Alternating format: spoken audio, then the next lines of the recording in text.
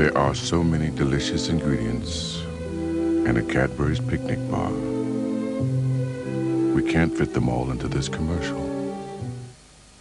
Look at that ground in grime. My regular liquid will never shift it. So I'm going to try this. It really does work.